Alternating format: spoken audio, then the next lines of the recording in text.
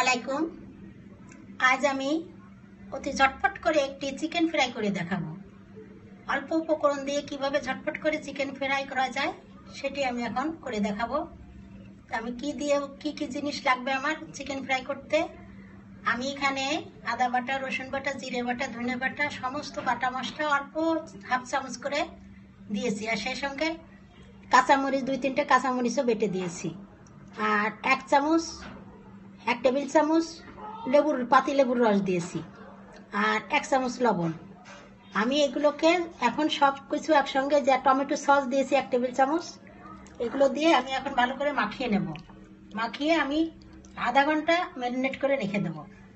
আধা ঘণ্টা পরে আমি ফিরে আসছি কীভাবে আমি এর ভাজবো, সেটা আমি পরে এসে ঘুরে এসে বিশ মিনিট পরে ফিরে এসে দেখাবো। আমি এখন এটাকে ম্যারিনেট করে ঢেকে রাখব আধা ঘণ্টা। আমি বিশ মিনিট পর ফিরে এসেছি। আমি চিকেনগুলো মাখিয়ে রেখেছিলাম। আর এখানে আমি একটি ভাজার জন্য বেটার তৈরি করব, একটা ডিম দিয়েছি। আর মরিচের গুঁড়া, একটু ভাজা জিরের গুঁড়া।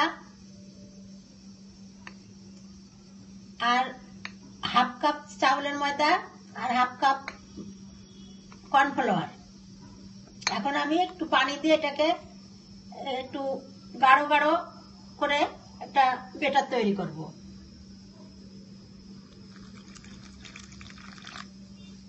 খুব পাতলা করা যাবে না।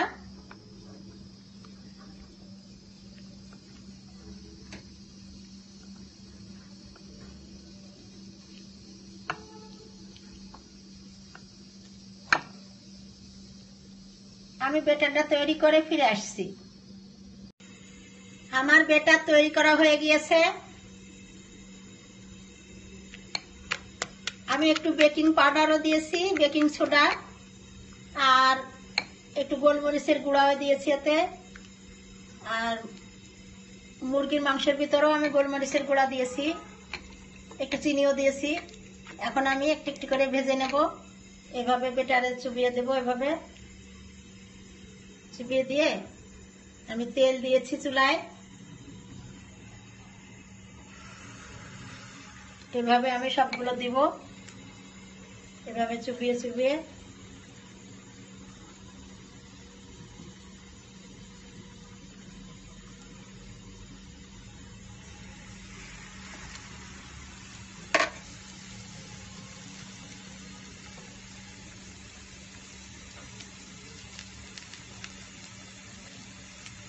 খুব জোরে জাল দেওয়া যাবে না।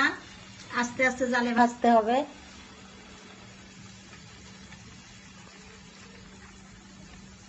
আমি সবগুলো দেওয়ার পরে ফিরে আসছি।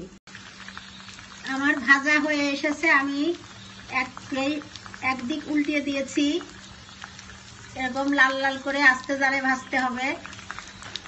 ওই দিকটাও এরকম লাল হলে আমি নামিয়ে নেব।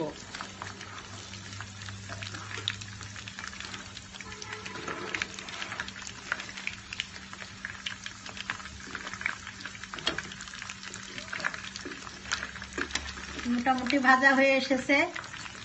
জোরে জাল দেওয়া যাবে না, জোরে জাল দিলে ভিতরে কাঁচা থেকে যাবে। আর উপর পুড়ে যাবে। ওই জন্য আমরা একদম লো হিটে চিকেন ফ্রাইটা ভেজে নেব। এই দুই লাল হয়ে গেছে, আমি এখন উঠিয়ে নেব। আর দেখি তো সিদ্ধ হয়েছে কিনা। হ্যাঁ এই যে কাটা চামচ ঢুকে যাচ্ছে। আমার মাংস সিদ্ধ হয়ে গেছে।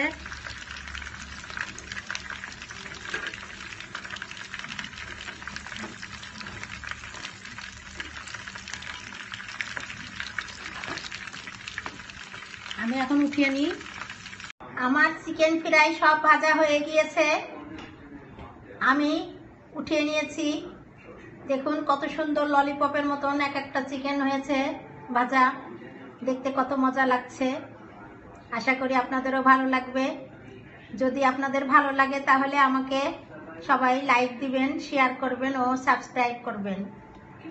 আশা করি আবার আগামী দিন আবার আপনাদের মাঝে আবার আরেকটি রেসিপি নিয়ে এসে হাজির হব ইনশাল্লাহ আল্লাহ হাফেজ।